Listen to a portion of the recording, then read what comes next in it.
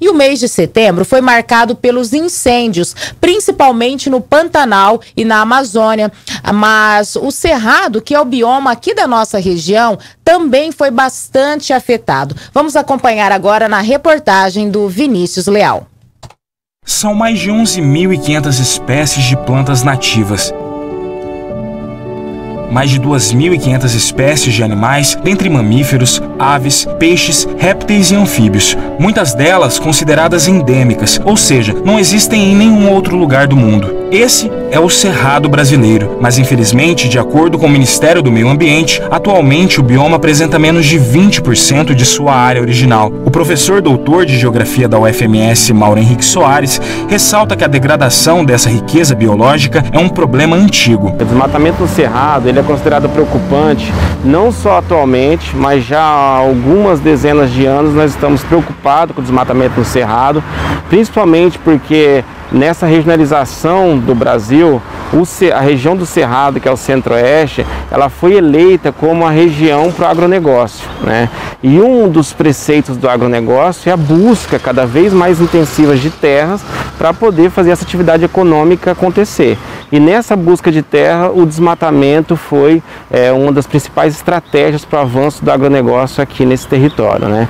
É, e no Cerrado brasileiro, que é onde nossa região está localizada, Mato Grosso do Sul sobretudo, nós temos espécies que ainda não são conhecidas ainda. É uma das regiões é, com a maior biodiversidade do Brasil, tem tanta biodiversidade quanto a floresta amazônica ou a Mata Atlântica, e no entanto não tem tantas pesquisas suficientes para entender muito esse complexo é, de bioma que é o Cerrado. O mês de outubro chegou e com ele a volta gradativa das chuvas regulares e com isso a queda na incidência de focos de calor. Mas os impactos gerados pelos incêndios do mês de setembro podem ter causado ao segundo maior bioma do país danos irreversíveis. Os incêndios é, também faz parte dessa preocupação, né? Porque apesar da teoria é, de que a região do cerrado, as espécies do cerrado, elas são adaptadas e realmente elas têm uma morfologia, elas têm toda uma dinâmica fisiológica adaptada para resistir às queimadas, mas no entanto essa resistência depende muito da frequência dessas queimadas e da intensidade dessas queimadas.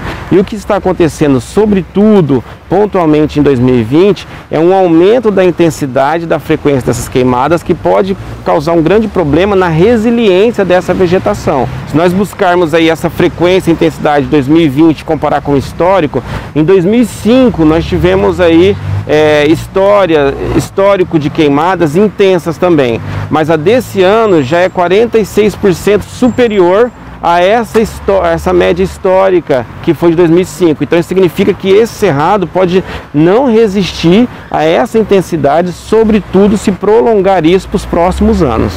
Segundo o Instituto Nacional de Pesquisas Espaciais, foram registrados mais de 21 mil focos de queimada em todo o Cerrado entre os meses de janeiro e setembro. No mesmo período, em Três Lagoas, o Corpo de Bombeiros registrou 342 ocorrências em terrenos e áreas de pastagem, superando todo o acumulado de 2019, que foi de 239. O professor ainda ressalta que os incêndios dos últimos meses, em sua maioria, não são naturais. O que, que a gente entende como, como incêndio natural? No, no, na área do Cerrado ou no Pantanal, né? Que é, alguns defensores, inclusive, da, da situação atual, fala que não, que os incêndios podem ser causados de forma natural.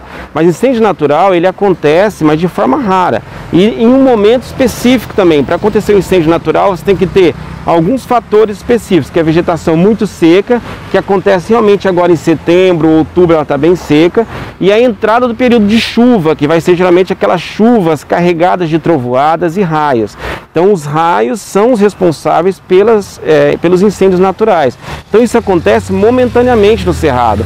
E os incêndios que nós estamos tendo agora, ele vem acontecendo há alguns meses e não estamos tendo cargas elétricas de raios com frequência. Então só pode ter uma causa esses incêndios, que é a causa antrópica, ou seja, o homem no seu manejo do solo causando impactos por forma de incêndio. E as previsões científicas dão conta que à medida que o desmatamento aumenta, menos recursos hídricos continuarão disponíveis. As florestas que estão nas vertentes das bacias hidrográficas, não necessariamente na, na, na mata ciliar, mas nas vertentes, cada vez que elas são deterioradas pelo desmatamento ou pelas queimadas, elas vão perder o potencial dela de mandar água para a atmosfera. Nós podemos ter déficit hídrico cada vez mais pronunciado nos próximos anos, principalmente em um cenário de mudanças climáticas que prevê um aumento de temperatura para daqui a 40, 50 anos, uma diminuição da umidade. Então, nós estamos pensando aí num futuro muito mais quente e muito mais seco e, obviamente, com muito mais queimada. E por que preservar o cerrado? O professor explica. O primeiro ponto de preservar o cerrado é pela riqueza da biodiversidade. Né? Como eu falei, nós temos espécies de vegetação e espécies de animais que não são tão conhecidas ainda, precisa de muito estudo e são endêmicas, então elas são dessa região, não tem lugar nenhum mais. Em segundo lugar, por questões climáticas. Quando eu digo questões climáticas, não é só local, mas regional. O nosso estado, a nossa região pode, já vai sofrer muito com as mudanças climáticas globais. E se a gente pensar no contexto do clima urbano, as cidades geralmente elas são isentas de vegetação, então os efeitos para o clima urbano podem ser catastróficos para a saúde pública, principalmente.